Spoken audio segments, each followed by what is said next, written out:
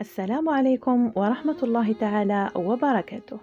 إن شاء الله تكونوا في تمام الصحة والعافية. اليوم راح نشارك معكم لي كراب سكري يعني لي كراب حلوين. جاو ما شاء الله يتخلطوا بالضرب اليدوي فقط. والمكونات كلها موجودة في المطبخ. أما الحشوة حشيتهم بنيوتيلا المصنوعة منزليا.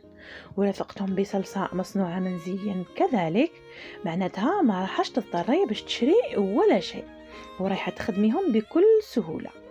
إذا عجبوكم ديروا لايك واشتركوا في القناة وإذا كنتم مشتركين فعلوا الجرس هكذا باش يوصلكم كل جديد.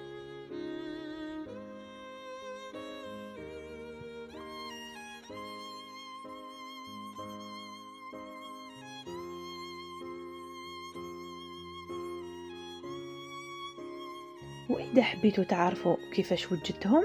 ما عليكم إلا تتبعوا الفيديو حتى النهاية. والآن راح ندخلوا مباشرة في المقادير وطريقة التحضير.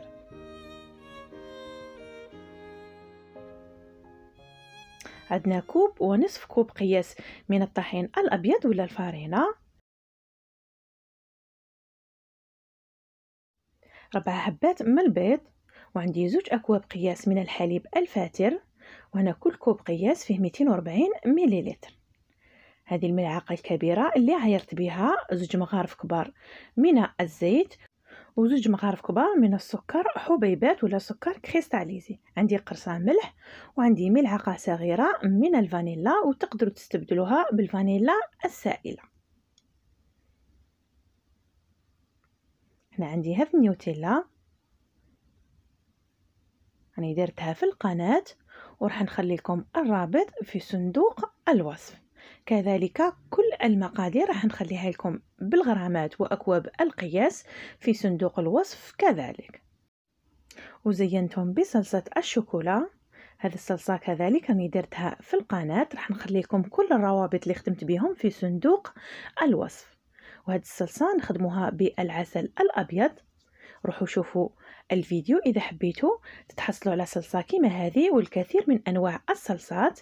أنا هنا درت كوب فيه 120 مليلتر من العسل الأبيض درت له 50 غرام من الشوكولا السوداء وتحصلت على الصلصة اللي راكم تشوفوا فيها. دوكا نروحوا نشوفوا طريقة التحضير. هنا في غيسيبيون راح نفقص هذوك الحبات تاع البيض اللي هما ربع حبات.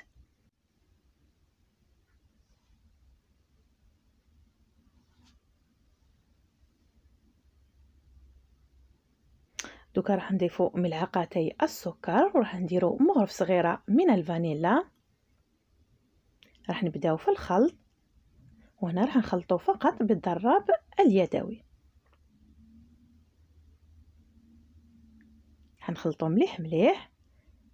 دوكا راح نزيدو قرصة تاع ملح وراح نزيدو ملعقتين كبيرتين من الزيت النباتية.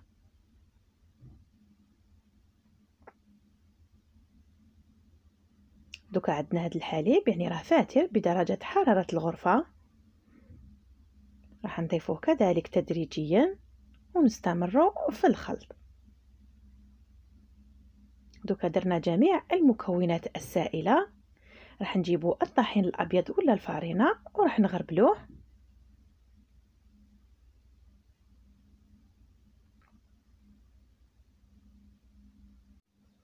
في هذه المرحلة لازم نخلطو مليح مليح ونحاول ندخلو كامل كمية الفرينة في السوائل هكذا باش ما يخرجوناش هذوك لي غريمون ولا الحبيبات. وقوام المزيج راح يكون خفيف في البداية لكن لما يرتاح راح يتغير القوام. كذلك شوفوا هاد الفقاعات تاع الهواء. لما يرتاح لنا المزيج راح يختفوا تماما. ورايحين نصفوا المزيج هكذا باش نتخلصوا من جميع الحبيبات تاع الفرينة اللي متخلطوناش كذلك هذه الوصفة تقدروا ديروها في كأس الخلاط ديروا كامل المكونات السائلة ومن بعد فرغوهم في ريسيبيون وضيفوا الطحين تدريجيا دوك أنا راح نصفي الخليط. أنا الخليط تاعي راح نغطيه وراح نخليه يروبوزي حوالي عشر دقائق فقط. وإذا درتو في الخلاط الكهربائي خلوه نصف ساعة يرتاح لأنه راح يكون فيه الكثير من فقاعات الهواء. أنا استخدمت مقلاة صغيرة القطر تاعها حوالي 15 سنتيمتر. هكذا باش يجوني هادو لي صغار ولما نحشيهم راح يجي الشكل تاعهم جميل. بواسطة فوطة مطبخ ولا البابي موشواغ راح نحكمو شوية زبدة ندهنو بها كامل المقلاة. راح نحطوها على نار قليلة جدا ونديرو المزيج ونحركوه كامل في أطراف المقلاة حتى نتحصلوا على الشكل الدائري. هاي ليك أنا راح نقلبها. راح تتقلب لي بكل سهولة لأن المقلاة صغيرة جدا. راح ندير لكم لي كريب سالي في المقلاة الكبيرة في وصفة قادمة إن شاء الله. أنا فقط حكمت هاد الاداه اللي نخدموا بها كسرة فطير حطيتها من الفوق هكذا باش طيب لي يعني من جميع الجهات. راح نواصلوا نفس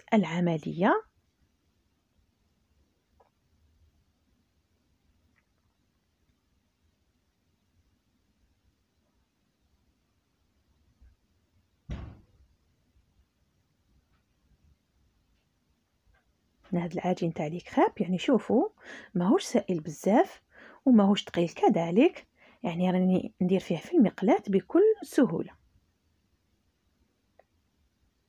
فقط خذوا نفس المقادير وراح تتحصلوا على لي يكونوا ما شاء الله.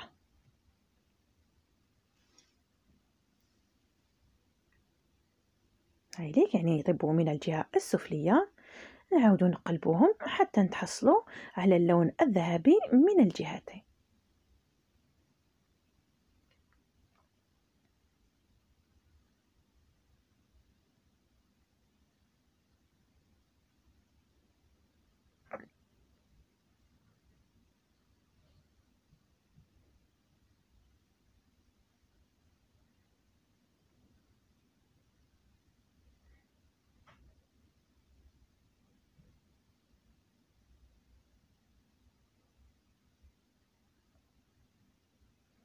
أنا راني نستخدم مقلاتان هكذا باش نكمل تمتم. راح ندير نفس الشيء مع المقلاة الأخرى. هامليك لي خاب اللي تحصلت عليهم. يعني شوفوا اللون تاعهم شحال جا جميل. ما جاوش محروقين جاو محمرين من الأعلى والأسفل. كذلك لما جا الحجم تاعهم صغير يعني جاو شابين ما شاء الله. دوكا هنا عندي أنيوتيلا. أنا درتها في هاد القمع باش يسهل الحشو. هنا طلعت شوية لا كريم شونتيني حنشبح بها من الفوق. وهاد الصلصة كذلك درتها في كيس ولا جيب الحلواني. وراح ندير شرائح من الموز. دوكا راح نقطعو هاد الموز ولا البنان. أنا قطعته بشكل مائل راح يجي الشكل تاعو جميل وراح يجي كذلك يعني سهل لما تحطيه في ليكخاب يعني ما راحش تضطري باش ديري دوائر كثيرة راح ديري زوج ولا ثلاثة راح تعمري كامل الحبة تاع ليكخاب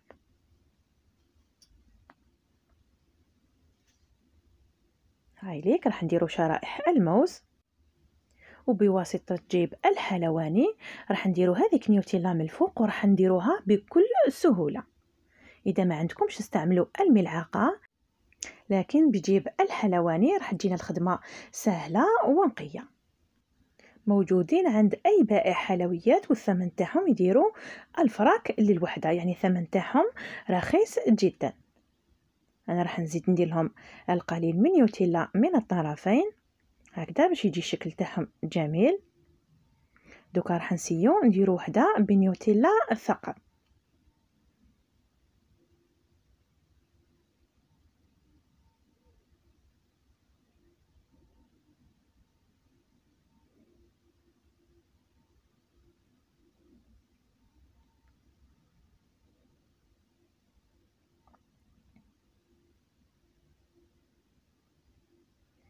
راح نسيو نديرو شكل آخر.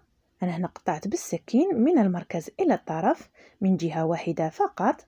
درت نيوتيلا بالملعقة ودرت شرائح الموز وتحصلت على هذا الشكل اللي راكم تشوفوا فيه. راح نقرب لكم الصورة وراح نديرو واحدة أخرى مع بعض.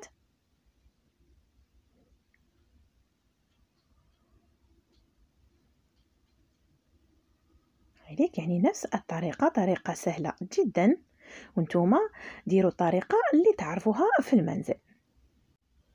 ننصحكم باش تشوفوا الفيديو الخاص بالصلصات يعني هاد الصلصة تاع شوكولا اللي رافقت بها هادو لي كراب من الفوق. يعني لما تشوفوا الفيديو راح نصنعوا العسل الأبيض وبهذاك العسل الأبيض راح تخدموا عدد غير منتهي من الصلصات. يعني كل ما راح تبدلوا الجو تاع الصلصة راح تتحصلوا على صلصة جديدة. هامليك أنا درت يعني ربع حبات قدام بعضهم. وزينتهم بصلصة الشوكولا. راح ندير دي غوزاس نتاع لا كريم شونتيني من الفوق. وباش نتحصل على اللون الجميل درت لهم ورقة تاع نعناع خضورة. ودرت حبه تاع حلقومة حموره هكذا باش يجي الشكل ولا الصحن جميل هادو لي كريب في الخارج يعني الثمن تاعهم غالي جدا. راكم شفتوا بمقادير بسيطة جدا والطريقة سهلة كذلك يعني خلطوا فقط بالضرب اليدوي وراح تتحصلوا على أجمل وألذ كريب درتوه في المنزل. إذا عجبتكم ما تنسونيش من ال like ومشاركة الوصفة والقناة مع الأصدقاء. وفي الأخير ما لي إلا نقولكم السلام عليكم ورحمة الله تعالى وبركاته.